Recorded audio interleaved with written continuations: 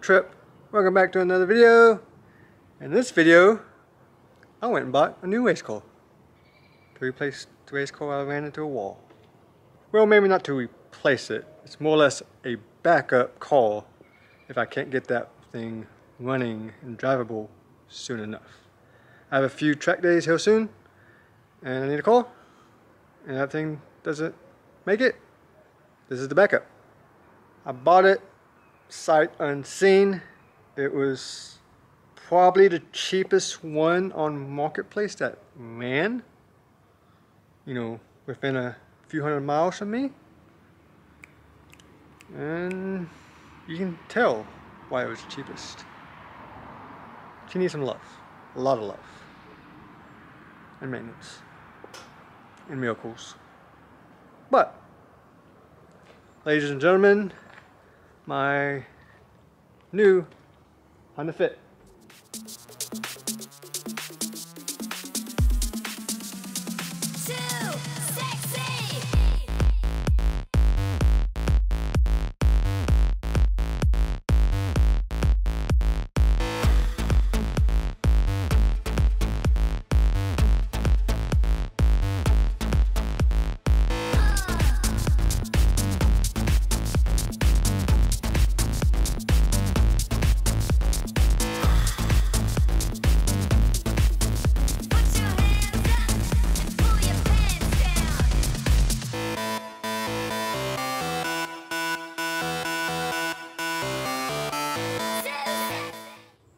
This is my 2007 Honda Fit. Like I said, it was fairly cheap. Well, for 2002 pricing. Everything is super expensive right now, especially uh, gas savers like this. It will also be acting as a daily gas saver since all my other cars suck on gas. So it's another big reason I got it. I was, I was actually looking at these anyway before the accident. So it's giving me more reason to buy one. You might be thinking to yourself, Trip, you can't race that thing. Way too slow to be a race car or track car.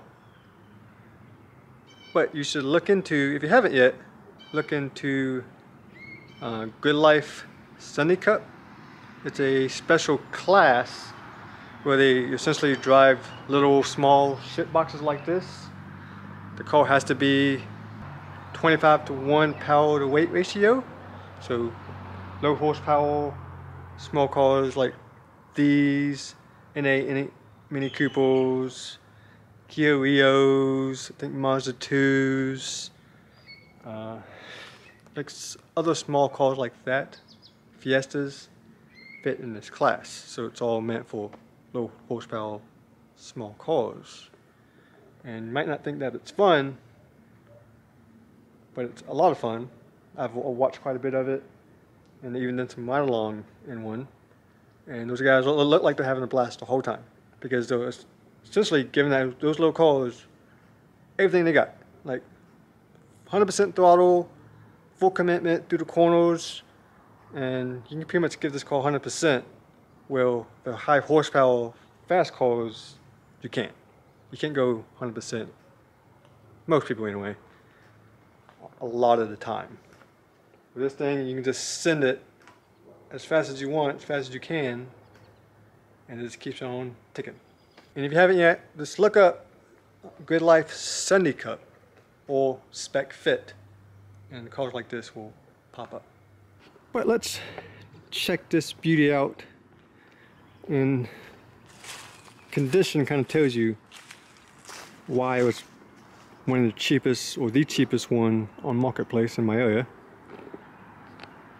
And another big reason is the clutch. The clutch is slipping really bad so it definitely needs a clutch replacement. Another big reason windshield is shadowed. It has mismatched wheels. It has, I think, three 15s. And the backs are 14. This one's starting to show threads Uh, every body panel's messed up, scratched, dented, about to fall off. And the back portion's not too bad really, I guess.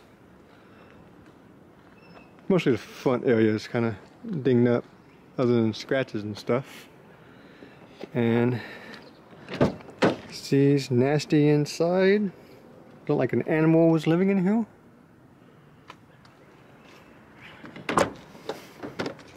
I mean, he said he cleaned it, but can't really tell. But it is a manual, which was harder to find the manuals at decent prices. It's not too hard to find the automatics. It just kind of damn near fall apart. There was a tampon and these all these trees were hanging up there they were like hitting me in the head while I drove so I whipped them off like I said this thing needs a serious bath like when I was negotiating with the guy to try to get the price down uh, I, I said obviously the car was pretty rough inside and out he said that the inside's not that bad, it's pretty nice. In his pictures on Marketplace, you couldn't see the floor with how much trash and dirt was on the floor. But it's not that bad. Back's pretty dirty, but it's nothing I can't fix. I think a lot of cleaning won't help. Pretty sure there's a wild animal living back here. Don't kind of scared to even see what's under though. Baby bottle? Apparently used to have subs or something. See what else. It has straight pipe. Pretty much straight pipe going to a resonator on the back. No cat. Which honestly then it wasn't as loud or sound as bad as I was originally expecting. It's livable, I guess.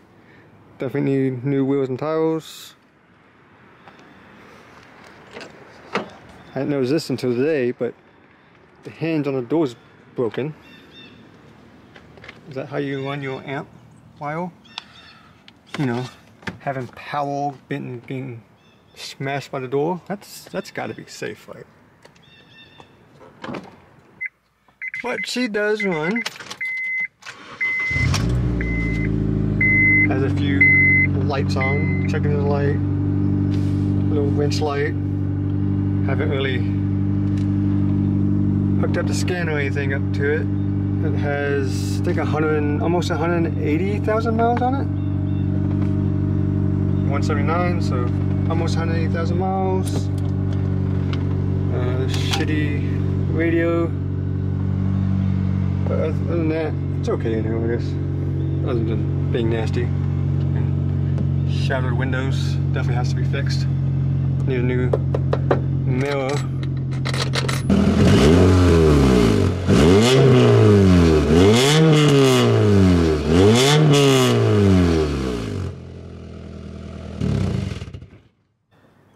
Okay, maybe I lied a little bit about not sounding that bad. Could be worse. It comes with a little little intake. Little short ram.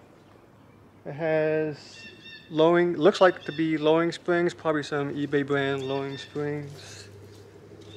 Uh, like I said, has a wang. Has a Honda stick on it. I highly doubt it has Honda on it. Haven't really looked into it. Bumper's belly hanging on. Look at those duct tape on, zip tied. Definitely need a new one of those. It's seen better days. Also had a pretty eventful day trying to get home. I bought it Monday, which was a few days ago, and the call was two and a half hours away and outside of Fort Payne, Alabama. I'm in Nashville, so two and a half hours. I think 160 miles, I think, there, one way. So, we went, we took the wife's GTI, drove to Fort Payne-ish, or it was like outside of it, picked it up, you know, was, the car was definitely a lot worse than what he was saying. And, and I knew it was bad. I was expecting it to be rough and kind of beat up and needing work, you know. So I tried to use those things as an advantage to lower the price down a little bit, which I did. I think it was originally 3033 and I knocked it down to 2200 which is still a lot for this you know all the used car market is just kind of dumb it's up there so I was able to kind of dream down to 2200 and he told me the clutch was slipping said it wasn't that bad you could still drive it. So I decided to try to drive it home. Luckily it's almost all interstate the whole way. And got on interstate and I pretty much had to slowly work that gas pedal just barely getting on it because if I get on it a lot it's, it's, it's gonna slip slip really bad I, I couldn't go over 3500 3500 RPMs without slipping so I had to like be really gentle with it just slowly creep my way up I averaged about 60 miles per hour on the highway every once in a while I'll get up to 70 a few times I got up to 80 on a, a long, big hill. That was only a few times. Got passed by everything, even a smart car. Got passed by a smart car. It's pretty embarrassing. But I drove it about 90 miles with a slipping clutch until I got to outside of Chattanooga. Between Chattanooga and Nashville area, there's a little mountain that 24 goes over called Monteagle and I couldn't make it over the mountain. I think Twix is wondering what this piece of shit is.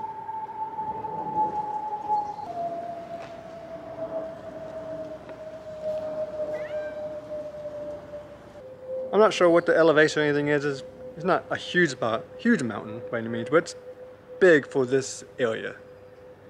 And uh, yeah, the car can't make it up it. I got to the point where I just slowly started to slow down and slipping and slipping and slipping and slipping. Just the clutch was hating life. Got to the point where I'm going about five or 10 miles per hour up the hill in the shoulder. I went as far as I could in the shoulder with my flashers on until I got towards the top where there's no more median. It's just drop off and death and big huge semis blowing by. There was no way I was getting around safely. So we decided to leave it there, call it quits, and we drove the GTI back home an hour. We were still an hour away. Got the van, got the trailer, drove an hour back, picked it up on the side of the mountain, barely made it on the trailer because the clutch slipped so bad. I pretty much had to get a head start, back up, get a head start just to get up to the trailer. Luckily I didn't fall off the side. But we, we got it, made it home, got home about midnight. No, it's later than midnight, about 1 o'clock in the morning we got home. So it was a long day, eventful. But I knew what I was getting into. But plans, like I said, backup race car, Gridlife Sunday Cup, maybe maybe an autocross or something like that. Until the other car is fixed and which I'm working on. I'm getting slowly getting parts in. I got a possible date with a body shop. So hopefully I can fix that before NCM. If not, this is going to NCM, which means I got a lot of things to fix. First priority, transmission or clutch. Full transmission, replace the clutch, replace the windshield,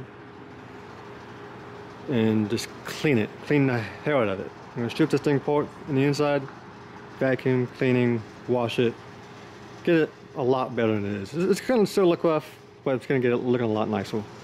Then work on wheels and tires. Definitely need those. And a front bubble. Those are my main concerns right now. Also refresh to change all the fluids, oil, transmission fluid, brake fluid, you know, check the pads, have no idea what they look like. You know, just get her healthy again. She needs some love. She's had a rough life. But I think I can make her happy and give her a better life. Marshall will daily haul. So even though it has a slipping clutch, do you think we should drive it? Just for the hell of it? Show you how awesome it is.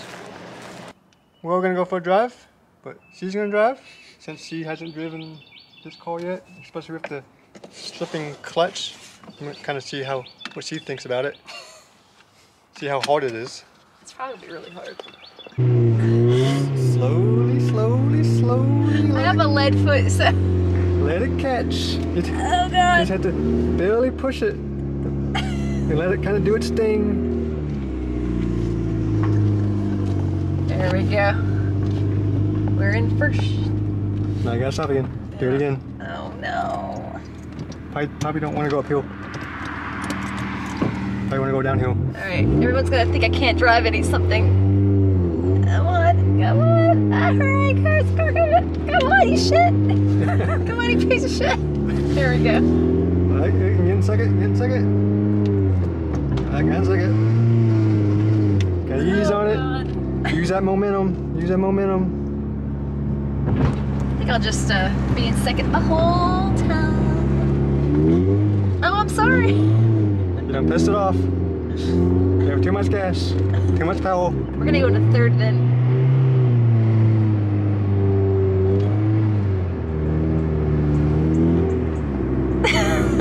It's terrible. I can't even go. Let's, let's not let's not die. Let's go. Ease on it. Ease on it. Come on, let's see if I can. Come on, drive faster, other car. Come on, drive faster. Go faster. There we go. Right, we made it to the truck. Woohoo! Now it's two donuts. There she goes. There Oh. she goes. Oh no, he's coming. Make up the We got this. Come on, you piece of shit. Come on, let's go. Come on. All right.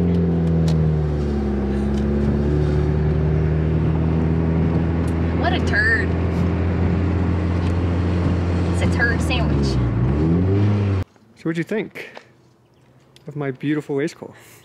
It's a turd sandwich. It just it it's gonna go the speed that it wants to go. But you know, it just wants to go to beat its own drum. It's shitty drum. But I think it has some potential. You can you can polish a toad. You sure can. Very carefully. I know it's kind of a weird choice for a track car, race car, but I promise it's, it's, it's gonna be fun. I'm, I'll make it fun. And the first thing we're probably gonna do is the clutch. It should come in the next few days, so I should be starting that here soon. I haven't forgot about the, the 86, it's still in the works, but while I'm waiting for that, I got this to play with. But thanks for watching this video.